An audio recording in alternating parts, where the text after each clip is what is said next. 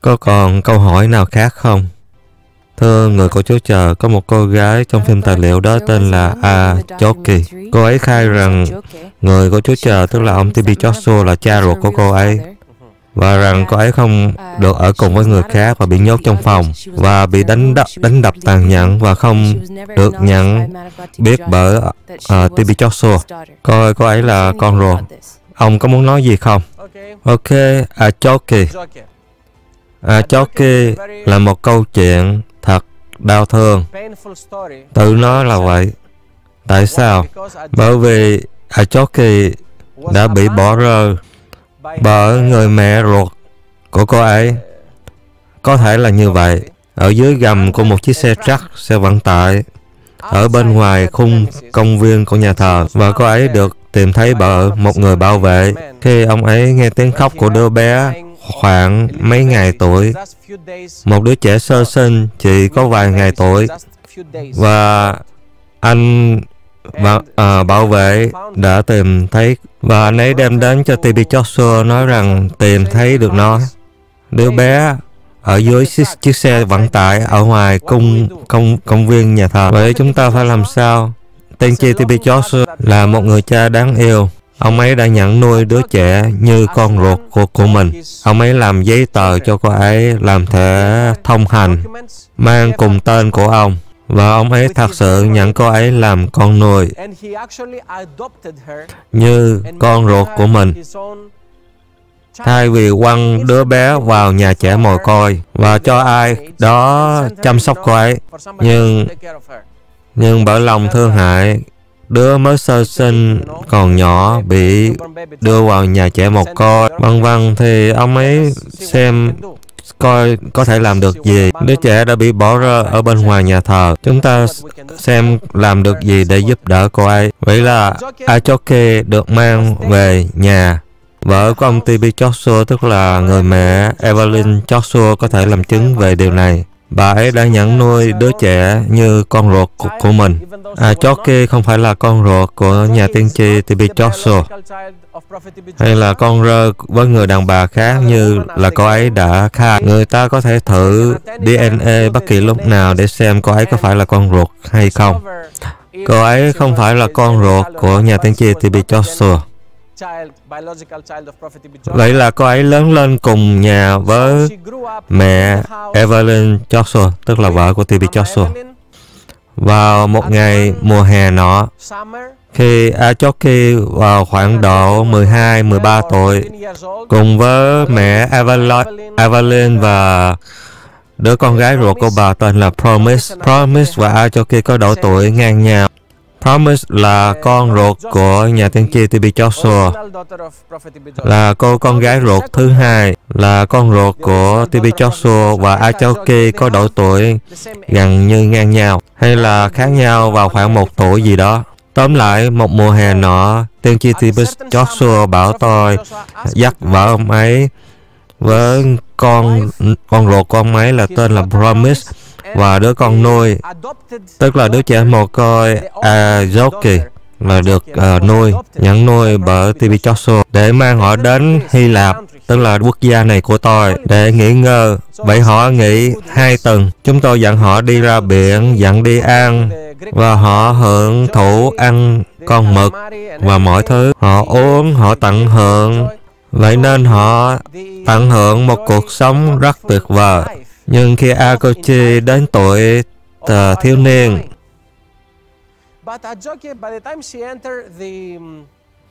tuổi thiếu niên, khi cô ấy khoảng 14, 15, 16 tuổi, như những đứa trẻ thiếu niên khác, thì đến đến tuổi này cô ấy bắt đầu bắt bắt đầu cư xử xấu và TB Joshua phải uh, lỗi cô ấy bởi vì chuyện gì con làm là sai, bởi vậy con phải ở một chỗ đó để suy nghĩ lại việc mình đã làm. Không có chuyện là bị nhốt như ở tù, mà cô ấy được tự do đi lại ở giữa chúng tôi. Cô ấy sống ở giữa các môn đệ khác, không có chuyện bị nhốt tù như những người ta, như người ta nói. Đó hoàn toàn là một sự nói dối thần ti. Và Tới khi đến một thời điểm nọ thì cô ấy à, Choki quyết định muốn rời khỏi nhà thờ. Cô ấy nói muốn đi, ok, cô ấy được tự do ra đi. Nhà tiên tri T.B. Joshua nói, nhưng trước khi con đi, trước khi con làm xấu hổ danh ta, thì hãy để ta um, rút tên của ta ra khỏi sổ không thông hành. Bạn có hiểu tôi nói không? Bởi vì cô ấy sẽ ra ngoài và nói rằng cô ấy là con ruột của ông ấy. Bởi vì ông ấy biết rằng đứa con gái này là đứa con gái quan đàn không phải là đứa con gái mà uh, được ý uh, để được cứu. Vậy nên ông ấy bắt đầu uh, liền tiến hành thủ tục tháo gỡ bỏ tên của mình ra khỏi sổ thông hành. và ông ấy đưa cho cô ấy quyển sổ thông hành mới với tên mới thật sự của cô ấy. tên là Achoki Goswill là tên thật sự. Và cô ấy được cho đi để sống cuộc sống của cô ấy. Và sau đó cô ấy mới xuất hiện trên đài BBC nói rằng mình là con ruột của nhà tiên tri T.B. Joshua. Nói rằng cô ấy bị hành hạ bị nhốt tù và bị đối xử tệ nhiều đủ thứ kiểu. Vậy nên không có câu nào là câu sự thật. Tôi chưa từng chứng kiến những chuyện như vậy. Tôi nhìn thấy Achoki mỗi ngày trong nhà thờ. Nếu cô ấy thật sự bị đánh bị đau bị trong bất kỳ hoàn cảnh không uh, thoải mái nào thì lẽ ra tôi phải biết. Và tôi sẽ cho cả thế giới biết rằng đây là việc sai bạn biết không? Lẽ, lẽ ra không nên xảy ra như thế. Vậy một lần nữa à, Choki đã nói dối một cách nghiêm trọng. chống lại với người mà đã đem cô về với gia đình là người mà đã giúp cô ấy lớn lên trong một môi trường tuyệt vời. một môi trường đức tin cô ấy được cơ hội để đi học ở trường tốt nhất. GTP Joshua đã tốn rất nhiều tiền để đưa cô ấy vào một trường tư nhân. Ở tại Nigeria cũng như ở nước gì đó và ở nước Anh nữa. Để mà cô ấy có thể có một tương lai sáng từ trường học ở Anh cô ấy được cơ hội đi qua ờ, uh, UK là nước cũng là nước Anh để để nhập vào trường đại học ở đó như là những đứa con ruột của ông đã làm vậy. Nhưng cô ấy đã không cư xử tốt. Cô ấy muốn bỏ đi và thích làm những điều mình muốn hơn. Là một thiếu niên cô ấy bắt đầu nổi loạn. Cô ấy muốn sống riêng theo ý mình. Và có một vài điều mà tôi đã nghe được về việc cô ấy đã làm khi còn ở trong trường đại học bên Anh. À, xin lỗi chỉ là trường bình thường ở bên Anh và cô ấy đã rơi vào cám dỗ ăn cắp ăn cắp tiền của người ta khi còn ở trong trường học và đây là một trong những điều mà cô ấy đã bị sửa trị Tiên tri TV, TV Joshua đã cho cô ấy mọi thứ, nào là tiền, nào là quần áo đẹp nhất, nào là trường học giỏi nhất. Tại sao cô ấy lại phải đi ăn cắp tiền của người khác? Và đây là một trong những điều, mà có những điều khác nữa mà tôi không muốn đề cập tới.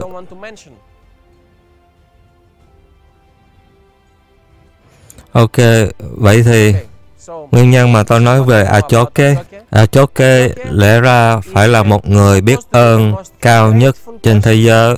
Đối với TV Joshua nhưng trái lại cô ấy trở nên vô ơn cao nhất và lại bước ra nói những lời tàn ác như thế này. Nếu những gì cô ấy nói là sự thật, vậy tại sao cô ấy không nói cho ai biết? Tại sao cô ấy đã không cho chúng tôi biết? Ít ra chúng tôi cũng là những người nước ngoài, những người sống ở châu Âu và cũng có những người Mỹ ở đó nữa, là những người từ các nước khác, là những người mà các bạn cũng biết rồi, rất là quan trọng về vấn đề quyền của con người.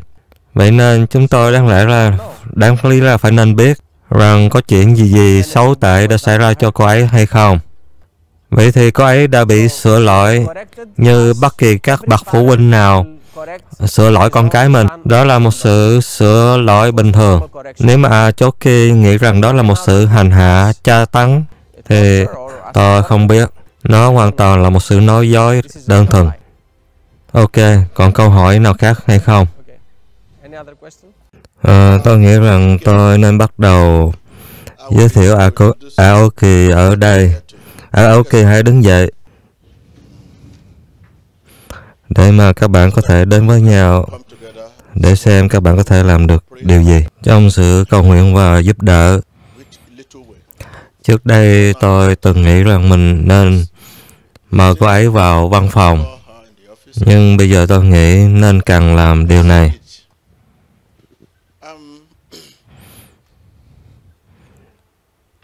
Đó là một vấn đề ờ, đáng ngạc nhiên. Tôi biết nhiều người trong chúng ta đã biết điều này. Cô ấy có một cái mà các bạn thường gọi là một người có ảnh hưởng trên quần chúng, mà nó không chỉ ảnh hưởng đến những người bình thường thôi, mà còn những người quan trọng khác nữa. Hãy để tôi giải nghĩa một cách uh, ngắn gọn.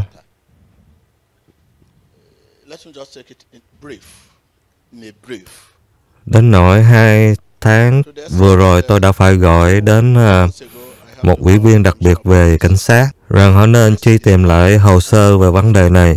Và họ mang hồ sơ đến cho tôi, và kèm theo lá thơ rằng tôi phải trả lại, và tôi vẫn còn giữ lá thơ đó. Tôi sẽ chỉ lá thơ cho các bạn bây giờ. Bởi vì họ cũng lo sợ cho tôi rằng, ồ, ông đã cho, đã làm quá nhiều điều cho cô gái này. Không. Lẽ ra người ta phải đặt cô ấy vào đúng chỗ của cô ấy ở trong trường học ở bên Anh có một lá thơ ở đằng kia đến từ ngôi trường mà giải thích rằng cô gái này đã ăn cắp tiền. Bạn có thể đem lá thơ đến để chúng ta được thấy không? Từng cái một.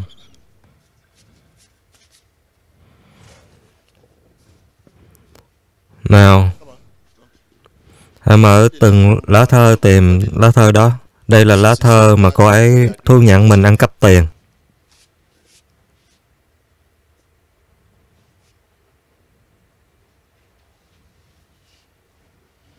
Ok. Hãy đưa microphone cho anh ấy. Cái này nói rằng đây là lá thơ thú tội. Tổ Achoki Joshua đã thú nhận rằng mình đã ăn cắp tổng cộng 41.000 CFE từ ai đó đã bị che giấu tên lại.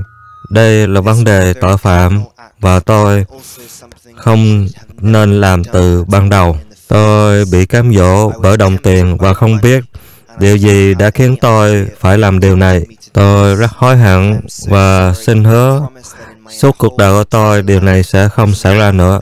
Xin đừng đuổi học tôi, tôi thật sự hối hận. Ký tên ở Choki Godswill, Joshua. Còn nhiều lá thơ nữa ở đó. Ngoài cái đó ra, hãy đến đây.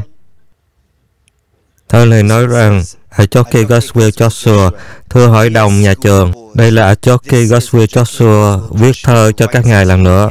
Tôi chỉ muốn nói rằng tôi rất hối hận, thật lòng và hạ mình.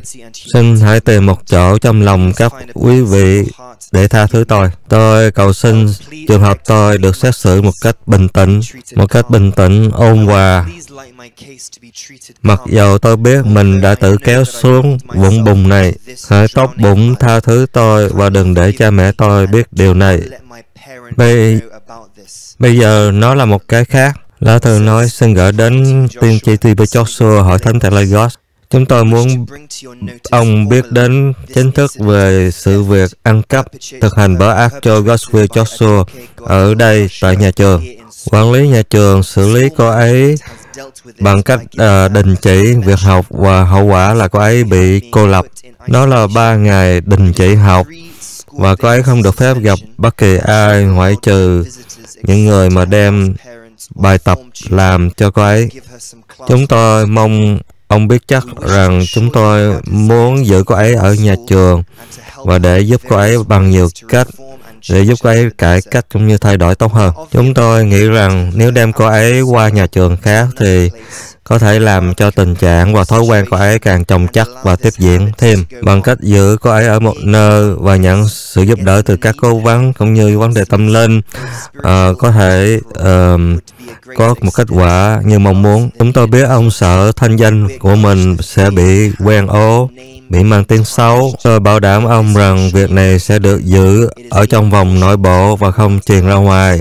Chúng tôi đã nói chuyện với người đại diện của ông, cũng như đưa lá thơ thu nhận tội, cũng như là phát biểu, uh, lời nói, lời sự chấp nhận cái sai của mình cũng như sự hối hận của cô ấy về vấn đề cô ấy đã làm. Chúng tôi sẽ tiếp tục uh, giúp đỡ mọi cách có thể và biết ơn cho những điều khác. Xin Chúa chào ban phước, ớt, ban phước cho ông. Ký tên đại diện cho Hội đồng Giáo dục.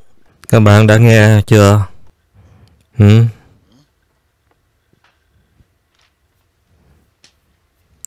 Nghe không? Thơ này được thực hiện bởi tôi, A. Roswell, để bày tỏ sự đau buồn hối hận về vấn đề. Đây là lời hối hận thứ hai ở cùng một trường. Hả? Đây là lần thứ hai. Ok, đừng lo lắng. Vậy sau khi họ viết lá thơ này cho tôi, bởi vì chưa ai từng biết Đối với họ, họ nghĩ rằng cô ấy là con ruột của tôi. Và tôi đã chỉ cho họ biết ngày mà chúng tôi tìm được cô ấy.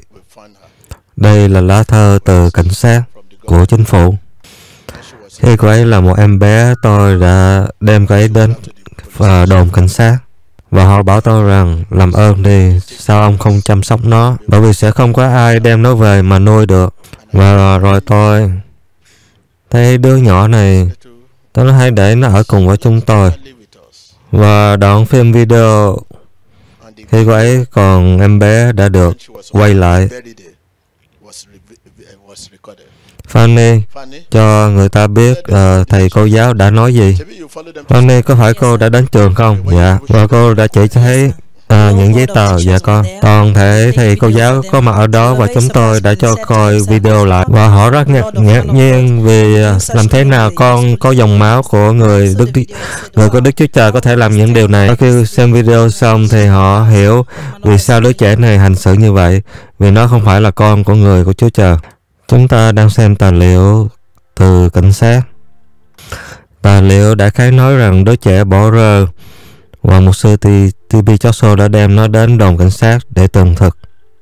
Đại khái nói rằng um, ngày 12 tây, 12 tháng 5 năm 95 vào khoảng 3 giờ 35 phút uh, ở trong rằng khi ở trên lầu ông nhìn xuống và thấy có đám nhìn xuống và ông uh, ở dưới có uh, đại khái rằng ông để ý có đám đông tập tụ phía dưới và nhìn thấy một đứa trẻ gái khoảng một tháng tuổi đã bị bỏ rơi uh, bởi ai đó không biết. Ở bên kia đường đối diện nhà thờ và ông ấy đem đứa trẻ đến uh, đồn cảnh sát để tường thuật. Và sau khi uh, cảnh sát biết được tình trạng đứa trẻ và đã quyết định rằng đứa trẻ nên được đem uh, về lại nhà thờ. Đại khái nói rằng nhà thờ uh, sẽ giúp đỡ à, nuôi đứa trẻ lớn lên. À, trên giấy tờ có đóng dấu à, của cảnh sát. Chúng ta sẽ xem đoạn video vào cái ngày mà Achoki Goswell được tìm thấy.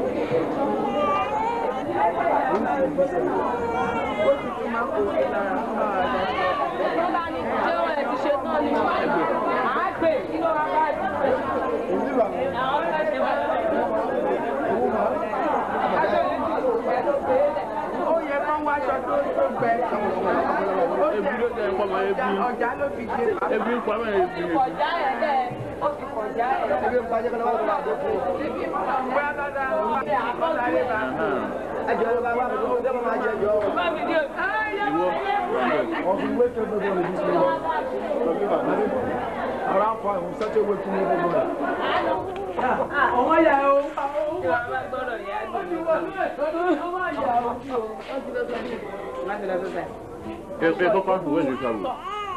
I'm confused de saúde. Yes. But but you can't do na mi ji. Wọ́n rò pé ilé ni. Wọ́n kàn wọ́n ṣe ṣàbí ṣe orí wọn kó wa. Ọtí mo sọ ni ẹ̀wọ̀n náà wọn kàn ju ẹ̀ ṣe tán. Wọ́n máa ká bẹ̀ẹ̀. Kò gbà tẹ́yẹ̀ wá gbọ́mọ ilé.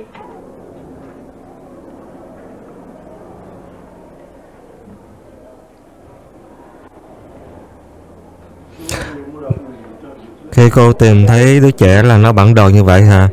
Nó được uh, gói trong cái khăn. Tôi nghe người ta la lên thấy là tôi nhặt đứa trẻ lên. Tôi tưởng rằng nó là con của những người quét đường nhưng họ họ đã bỏ đi khi tôi đến đó. Quản lý bảo tôi hãy đi tìm người mẹ của nó ở phòng vệ sinh.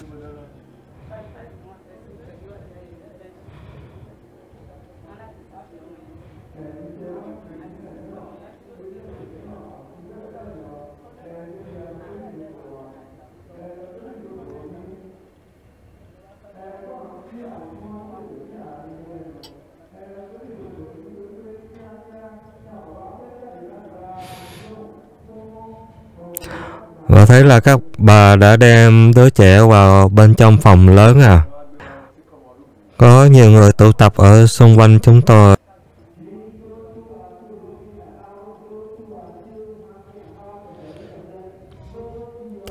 Cô ấy là người đã chải tóc cho em bé à? Vâng sau khi chúng tôi tắm rửa tắm rửa cho em bé. Đến bây giờ cũng đã hơn một năm. À, cho khi đã làm những điều tồi tệ. Khoảng ba tuần nữa từ kể từ bây giờ người ta có thể, người ta muốn đem cô ấy về lại chạy một coi nơi mà người ta làm giấy tờ tên tuổi, vân vân. Xin lỗi các bạn nghe không rõ một sư nói gì. Đại khái đây là lá thơ của cảnh sát ở thành phố Ikoton gửi đến cho nhà tiên tri TV Joshua ở Lagos. Đại khái nói rằng hồ sơ được rút ra từ những hồ sơ từ số 9 cho đến số 8 về ngày 17 tây tháng 3 năm 2000. Tôi ước rằng đứa trẻ bị bỏ rơi phải trả lại cho chính phủ. Cảm ơn. Ký tên bởi cảnh sát tên là Akiko Austin ở La- Lagos. Đây có lẽ là một lá thơ khác cũng từ cảnh sát của Nigeria ở Lagos. Lá thơ có tựa đề là Đứa trẻ bị bỏ rơi. Ông Obi Seleni của nhà thờ hội thánh Scone ở Ikoton, Lagos đã đến đồn cảnh sát và tường thực ngày hôm nay, ngày 12 tháng 5 năm 95, vào khoảng 3 giờ 35 chiều. Khi ở trên lầu nhà thờ, sự chú ý của ông ấy bị thu hút bước ra để thấy một đứa bé gái vào khoảng một tháng tuổi đã bị bỏ rơi bởi một người nào đó bên cạnh con đường đối diện nhà thờ. Sau khi thấy đứa trẻ, ông ấy mang nó vào đồn cảnh sát để tường thực hành động. Sau khi nghe kể và vì uh, sự an toàn của đứa bé gái, một quyết định được đặt ra là đứa bé sẽ được dắt trở về lại nhà thờ rằng nhà thờ sẽ giúp đỡ nuôi dưỡng đứa bé lớn lên. khi tên bởi Jeremy à, cảnh sát Nigeria. Nếu không vì đã gặp đứa gái này thì tôi có lẽ sẽ có hàng ngàn con trẻ nuôi khác. Nhưng tôi cảnh cáo bạn chúng rất nguy hiểm. Nếu tôi đang nói chuyện với các bạn, xin hãy thấy cánh tay của các bạn. Nếu không, ở cho khi là một ơn phước cho đời sống tôi. Tại sao? Nếu không vì tôi gặp đứa gái này thì tôi có lẽ đã nhận nuôi một triệu đứa rồi. Chúng có lẽ sẽ không bao giờ biết ơn những gì các bạn làm. Các bạn có biết chuyện gì đã xảy ra bây giờ không? Cô ấy bây giờ bắt đầu phá hủy những môn đồ ở đây. Bạn có biết tên của đứa con trai đó là gì không? Tên là Loisin. Loisin đã gọi tôi từ Ghana, nước Ghana. rằng anh ấy đã quyết định phải ra đi. Anh ấy đã phải ra đi vì lo lắng bởi vì Achoki đã phá anh ấy. Anh ấy đã không dám nói không với Achoki. Anh ấy không biết. Hãy chỉ cho họ thấy cuốn sổ nhật ký mà anh ấy đã gìn giữ. Cô ấy cũng đã từng gửi tin nhắn cho anh Lôi Sinh nói rằng cô ấy muốn kết hôn anh ấy. Cô ấy không thể ngủ mà không có anh ấy. Cô ấy muốn ăn ái, muốn có tình cảm lãng mạn với anh ấy. Cô ấy muốn hôn anh ấy và không cần biết bố nói gì, cô ấy sẵn sàng chết vì đó à, con trai đó. Người con trai đó đã, đã rời đi rồi. Có có ai có thể gọi người con trai đó trên điện thoại và mở cái lo lên cho mọi người xem không? Để mọi người có thể nghe tiếng nói của cậu con trai đó. Hello, hello. Có phải là Lawson không? Tôi muốn cậu nói về mối liên hệ với Achoki. Trước khi cậu quyết định ra đi, xin hãy nói bây giờ để tôi có thể nghe cậu nói.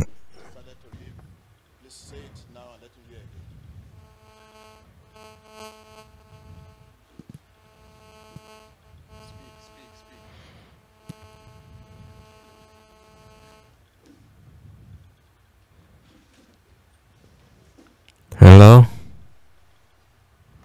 À, trước khi chỉ là người bạn, thương ngài, cho đến khi tôi trở về Ghana. Và sau đó cô ấy bắt đầu gọi tôi. Khi tôi về đến Ghana thì cô ấy bắt đầu gửi tin nhắn rất là kỳ lạ. Trong tin nhắn thì Achoki muốn tôi trở thành người bạn trai của cô ấy, thưa ngài.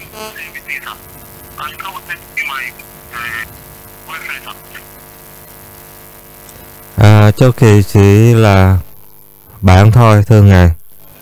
Chỉ khi tôi trở về Ghana thì cô ấy bắt đầu gửi những tin nhắn, thưa à. Những tin nhắn gì? Cô ấy đã gửi những tin, tin nhắn gì?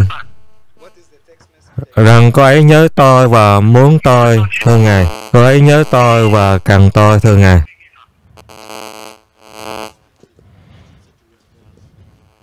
Hãy lặp lại.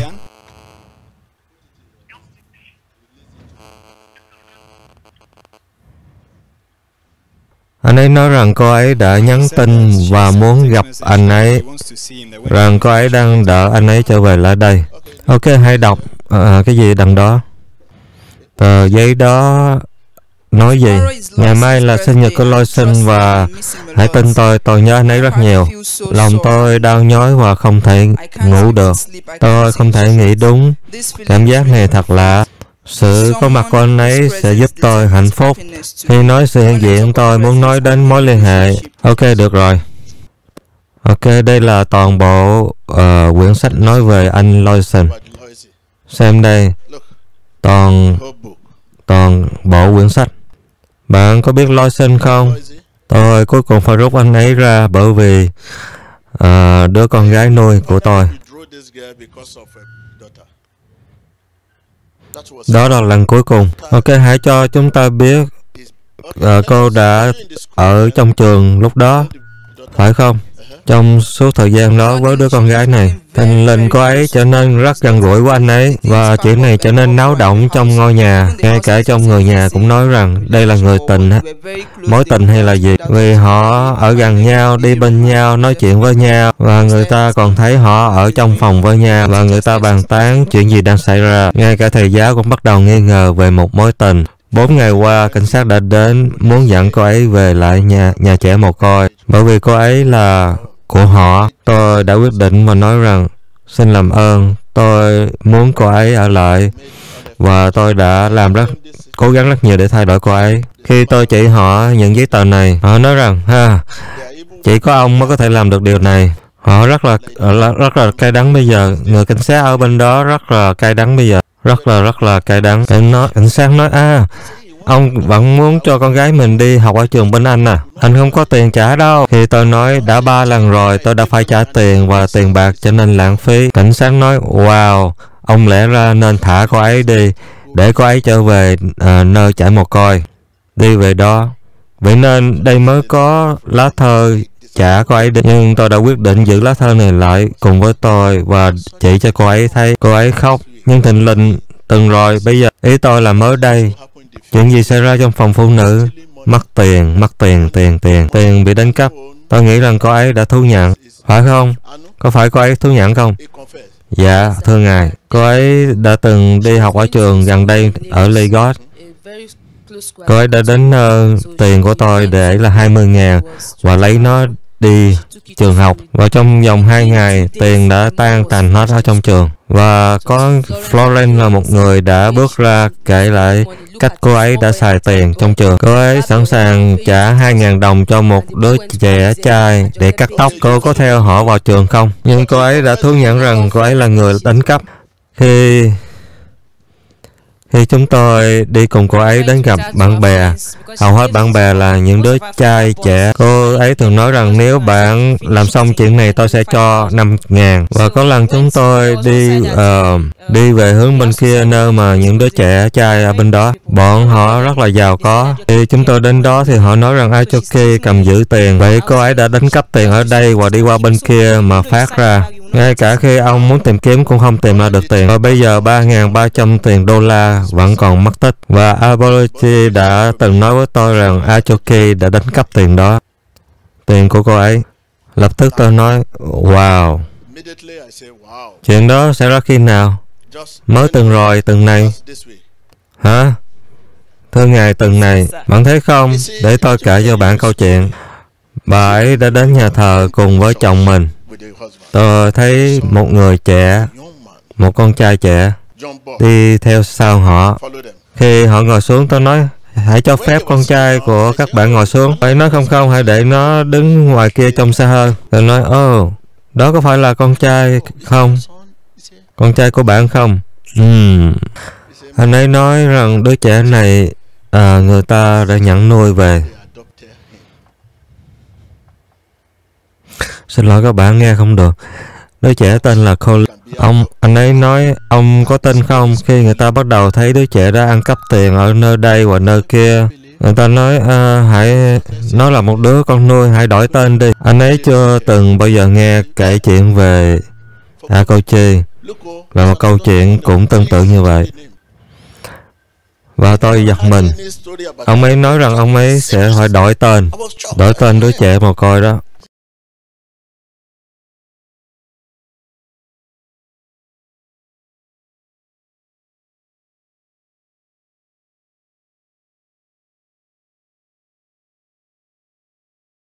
Đứa trẻ con nuôi đó. Đó là bây giờ vì sao mà chúng tôi phải thay đổi và rút cái tên của chúng tôi ra để chúng tôi không bị cái tên này bị uh, bị quen ố. Cái tên uh, đẹp đẽ quý giá này bị quen ố. Và sau đó tôi bắt đầu kể về câu chuyện của chính tôi tức là chính con gái Achoki của một sư TV Joshua. Tôi cũng có đứa con gái nuôi hiện đang ở trường bên nước Anh. Hả? Là người giàu nhất ở này chia đã nói rằng hả? Trường nước Anh à? Để làm gì? Để đi làm à?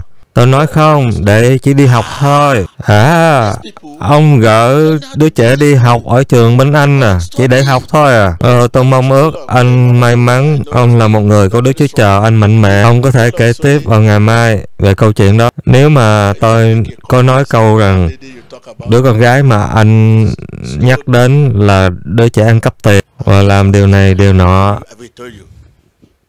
nữa.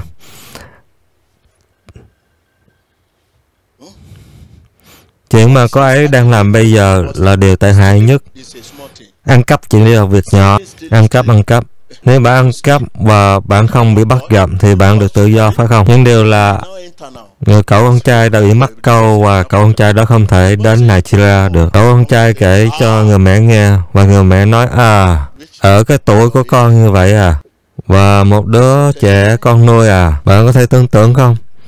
Khi đã đến mức độ đó là một điều tồi tệ nhất. Vậy bây giờ các bạn mới biết được rằng Atoki sẽ trở về nơi cô ấy đã đến. Đây là lý do tại sao tôi phải giới thiệu cho các bạn biết những tài liệu này đã có sẵn sàng ở với tôi đây. Để các bạn không thắc mắc hỏi rằng à, chuyện gì xảy ra? À, Achoki ở đâu? Nếu bạn có tấm lòng thương người và muốn đến à, chạy chạy một coi thì thì có thể tìm thấy ở đó. Sẽ gặp cô ấy ở đó và bất cứ món quà nào bạn muốn cho thì cứ cho. Không những chỉ cô ấy thôi cho tất cả mọi người mọi đứa trẻ trong đó. Joseph Anh có muốn nói gì không? Thưa Ngài, tôi rất ngạc nhiên bởi vì nhiều người ở đây à, họ chỉ biết à, Achoki khi cô ấy là một đứa trẻ lớn đứa gái lớn. Đối với những ai ở đây lâu rồi thì có thể thấy cô ấy lúc còn đứa bé nhỏ và tình yêu thương mà cha chúng ta đã bày tỏ cho cô ấy. Không ai từng bày tỏ tình thương à, cho con ruột mình nhiều đến thế. Nhưng đã đã đi tức là ba đã từng chịu đựng nhiều sự vô ở bê bối những bản cáo xấu từ trường. Ở đã đi tức là ba cũng đã rút cô ấy về. Nhưng sau một hai tháng lại đưa cái trở về nhà trường. Rút về nhà rồi lại đưa lại trường rút về nhà rồi lại đưa về trường. Bạn biết không tôi đã trả 50 ngàn đô. Và lúc mà tôi rút cô ấy về nhà thì nhà trường không trả tiền lại cho tôi. Nhưng tôi bỏ qua. À sau đó tôi gỡ cô ấy trở lại trường và trả thêm 40 ngàn đô nữa, nhưng lại lãng phí. Và họ đòi thêm tiền nữa 30 ngàn đô. Tôi trả, và bây giờ tôi rút cô ấy về nhà lại, và tôi nói à khi bạn nhìn lại lịch sử thì bạn biết chuyện gì xảy ra cho bạn. Tôi có một lý lịch, một gia cảnh rất khó khăn, nhưng tôi đã thay đổi. Bởi vì tôi muốn người ta có một cuộc sống tốt đẹp hơn. Ok, bạn có thể ngồi xuống được rồi, cảm ơn. Ngồi xuống ngồi xuống.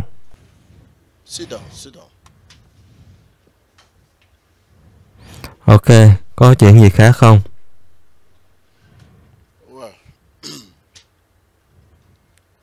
Um,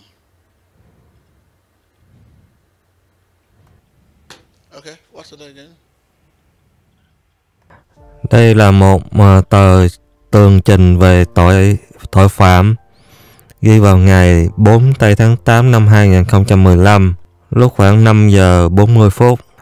Tờ báo cáo này đại khái nói về sự bỏ trốn của cô gái con nuôi A Kochi vào ngày 4 tháng 8 năm 2015. Vào ngày đó thì có các ông nào đó tên Sandy của nhà thờ, đã đến cảnh sát tường thuật rằng Akochi, vào khoảng 20 tuổi, đã là đứa trẻ bị bỏ rơi lúc khoảng một tháng tuổi bởi ai đó bên cạnh đường đối diện nhà thờ. Ngày 12 tháng 5 năm 95 vào lúc 3 giờ 35 và được nuôi dưỡng lớn lên ở nhà thờ. Và người viết đơn này nói rằng, ngày 26 tháng 7 năm 2000 2015 trong lúc buổi lễ thờ phượng ở tại nhà thờ thì Achoki đã trốn ra khỏi nhà thờ và đi cùng một người bạn trai mà tên là gì không biết.